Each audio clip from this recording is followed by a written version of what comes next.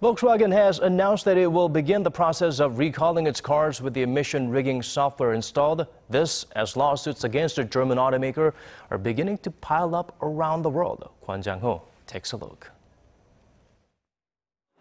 Volkswagen is getting ready for a long and expensive process of recalling its cars.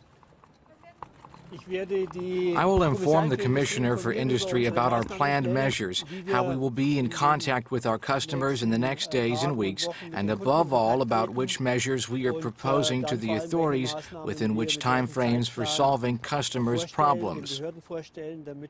When asked how much the recalls would cost the company, he was unable to give an answer.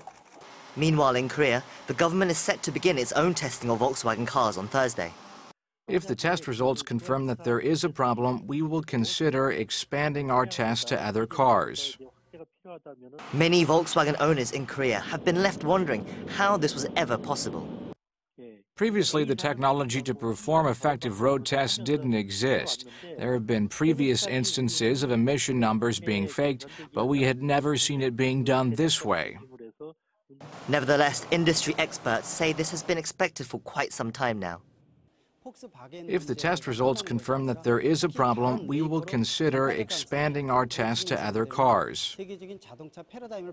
In the US and Canada, the public have already taken their anger to the courts, with dozens of lawsuits having already been filed against the German automaker. Volkswagen owners in Korea have also followed suit. The first lawsuit in Korea against Volkswagen was filed here today at the Seoul Central District Court. More are expected here and elsewhere around the world. 권장호, Arirang News.